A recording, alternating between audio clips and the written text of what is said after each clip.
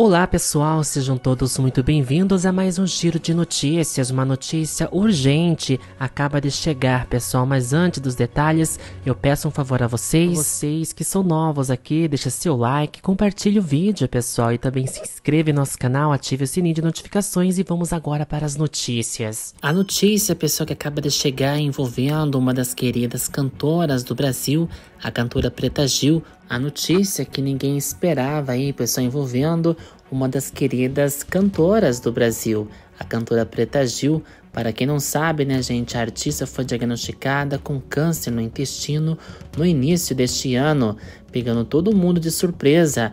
E de lá para cá, então, conseguiu, né, gente, aí entrou na verdade uma guerra travada contra o câncer, pessoal, isto mesmo.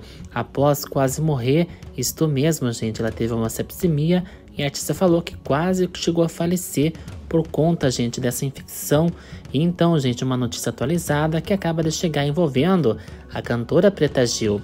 Após crise de ansiedade, Preta Gil surge, hein, gente, exuberante em um aniversário, pessoal, isto mesmo.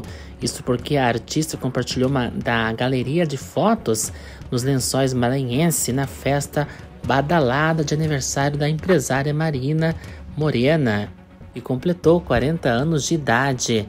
A artista, gente, postou um vestido, né? A gente apostou em um vestido estampado e não economizou no riso, na descontração, passando, né, gente, aí várias fotos e posando com o aniversariante e amigos.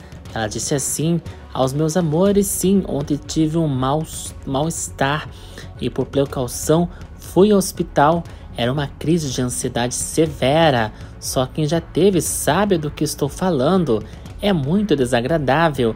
Não precisei ficar na clínica, disse a artista. Eu fui medicada pelo meu psiquiatra e tive alta.